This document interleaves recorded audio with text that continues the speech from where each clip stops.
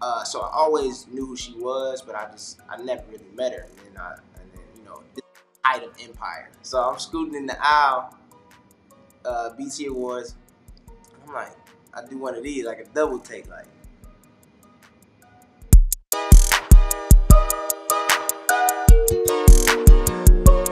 Hey, what's up? I'm Serayah. Hey, what's up, y'all? I'm Jacob Latimore. And you may be wondering why we're not in the same room. That's just because we working. You know, this is what we do. You know, I gotta gotta pay the bills. Right now we're working, so we're in different cities, and so the way that we stay connected is through FaceTime calls. Uh, we pretty much talk all day and stay tapped in, unless you know he's on set or I'm on set. We can't talk at that time. We may be on the phone all day. I just may be on FaceTime in her purse, and then it's like as if we in the same room, but we not talking to each other, like we just watching TV or something. We met at BET Awards 2016. Um, we have a mutual mutual friend, great friend of ours, Shameik Moore. We love you. So I always knew who she was, but I just I never really met her. And then I, and then you know, this height of empire, like I mean, empire's on fire. Like yes, sir. like we go, it's up. So I'm scooting in the aisle, uh, BET Awards. I'm like, I do one of these, like a double take, like. Hey, she hey, I heard so much about you. And I'm like, I- have heard so much about you too. You know what I mean? And I, I scoot over to my aisle, give her a hug, sit down, and I look over like, and so I'm like, man, we end up dating later. But our first, I guess you can call it like first thing together away from friends. I had to get my nails done. And I was like, I was like, I have to go get my nails done. I mean, I'm, I don't know if you do that, but you can come. And if you do do it, you know, it'd be great. Um, if you want to get a pedicure or something, I don't, or we can meet after. And he was like, no, yeah, I'll come. Um, I don't think he had ever done it before, but he definitely was um, was there getting a pedicure, and that was like our first time together alone away from friends. you know, I realized once I had my toes out, this is a little different.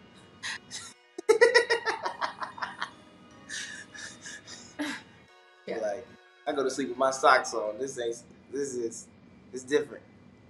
I want to say it was like maybe like six months, seven months, six or seven months maybe before like any posting was involved. I think the first time we posted though, no one really like could tell if we were just dating or not. It was just it was like a it was a thing. We wasn't really trying to push that we was dating. I think people I think people still finding out now, to be honest, because I still see people like when this happened, you know, and photo of us at one music festival went really like really went crazy for us, but I just didn't want. I'm just I'm very personal, but and then also this is I think both of our first like celebrity relationship, if you want to call it that, and so for me a lot of it was just like making sure like things are real and in place before just like posting or you know answering questions or anything like that. I just wanted to know for myself before the world news. I didn't speak to my PR. I don't think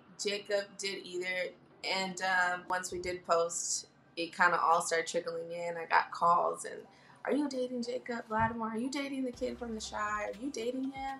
Oh my God, my family started calling. Oh my God, my sister's auntie, somebody loves his music. Oh my God, he's so fine. That's the boy from the Chi. Oh my God, tell him tell Emmett to stop. Oh my God, is that Emmett? It just it just all started coming, and I'm like, yo, relax. We're public, but we're not public. You know, we like there's a lot of things we still keep very private.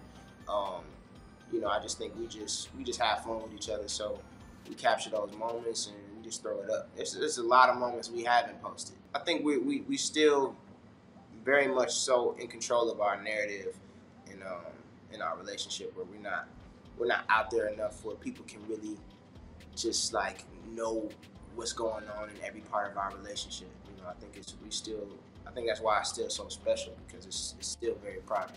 if you don't post it, it ain't real. I feel like that's definitely a thing of the generation. Like if you go to a concert and you're like, I met Kanye West, it's like, okay, where's the picture? You're like, I didn't picture because I was just so in the moment. And I, I just feel like, you know, in one case it's just funny, like hashtag, but to really to really use that as like a life code is kind of you kind of rob yourself of real moments.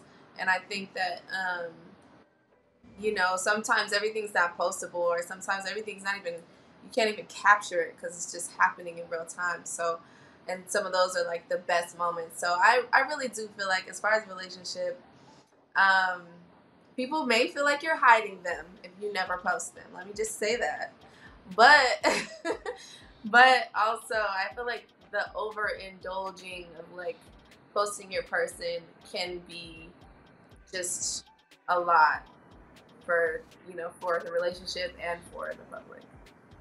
I do feel like the only reason that that quote became a thing is because people comparing themselves to a different relationship. So if someone has a private relationship then they see someone else with, you know, a public relationship where the husband's kissing the wife and it's all on IG and it's like, why don't never post me? You know, and it's like, because we ain't on that. You know what I mean? So uh, um, I think it, it, came. I think it comes from just comparing yourselves to everybody else's, the way everybody else moves. You, know, you gotta you gotta move how you move, and, and you know we moving how we move. Serayah surprised me with something on that day, and I wasn't aware that it was my day. You know what I mean? I'm like, it's my day. Okay, bet. So she calls me. Uh, she's at her apartment. I'm at mine here in Chicago, and um, she's like, "Yo, you gotta come over right now in 30 minutes." I'm like, "What's, what's wrong?" Like, you know, so she rushing me. I get over there. Long story short, she opens the door. There's rose petals. There's my chef is in there cooking me a hot meal and then I turn to the left, and then there's two massage tables, and and then my chef handed me some flowers. I'm like, I'm blushing. I'm like, hold up, this, this is little, what's going on? I'm like, I'm looking at Ray like, what? Yeah, it was that moment of like, yo, nobody ain't never done nothing like this for me. You know what I mean? Like, not, you know, not my my girl. So I'm like, it's something I would do, you know. So I'm like, hold up. So I think the the the level of uh, love she expressed to me was just, or appreciation, and just for me, it was just like, oh man, like what? You know, and I just I, I was kind of lost for words, and just I, I could still tap back into that moment. Um, I I knew he was the one when we were just all when it was like the friend stage and i wasn't necessarily like crushing but i think that i was like maybe i was. But i think that i was just like wow like wow you know he just kind of took initiative.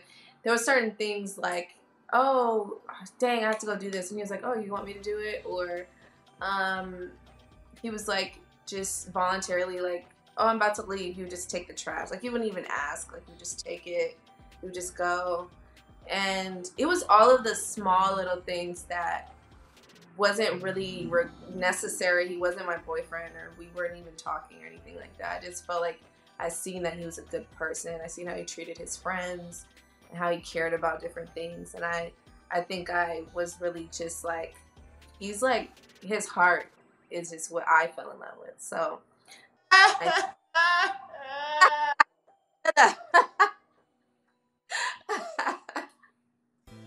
I guess my advice would be to just, uh, man, like, you know, get off social media. I really don't know. There ain't no really special way to say it. It's just, I, I see certain couples tweeting each other. Then it's like, hey, like, it seems like y'all could just text this out, or you know, call call each other or something. So I, I think uh, social media has become like this like open journal thing where it's like, I don't know, they're just putting everything out there. It's just like I don't know, exposing everything, which is like a, a scary thing for me. And, and, maybe it's because it's just the world we live in now. It's just like that's the new generation. I, I think that's something I still won't fully understand. So I would just say, man, keep things private because when you take your, you could take your wins and your losses in private. You know what I mean? It's just, um, it's, it's important. It's really important for your mental. You know, so that way you can actually deal with things on your own, not with the world, and you're not getting flooded with comments and you gonna be alright. You know, just like anything, just uh, privacy is just it's just it's uh it's the most important thing, especially just for yourself and in a relationship. Mm-hmm. Our generation is a lot less patient. I think that kind of stopped around my grandparents, probably my grandma. She's patient with cooking. She's patient with pretty much everything. She was patient in her relationship, I'm sure, um, when she was married. And so I think, like Jacob said, it's just our generation's a lot like quicker and like we just need what we need now. It's like we need it now. And that's kind of like how we how we're adapting. It's how our life is set up with the phones, with the everything. Like, no problem. We can do it now, virtually. Like, you know, and so I think that that just has a big part in the way it affects just our life in general, and that kind of bleeds into our relationships too. Don't compare yourself, like Jacob said earlier, don't compare yourself to other couples or couple goals, whatever that means, because everyone has their own BS that they go through. So you never want to feel like just because you see someone's beautiful picture of them and their spouse or boyfriend, girlfriend, that it's just like nothing but roses because we don't know what's going on behind that picture, first off. So I feel like people should just be tapped into what makes them happy and what they want out of their relationship and what's their goals and create their own hashtag couple goals um, and, and not worry about what everyone else has going on because um, I feel like there's like this scarcity thing right now in our society for all things but especially relationships, you know, jobs and like careers and stuff like that, money. And it's like as if there's not enough people to date, there's not enough clout to have, there's not enough jobs to acquire, there's not enough you know money for us. And i just feel like we just need to slow down and and just really tap into what our personal things are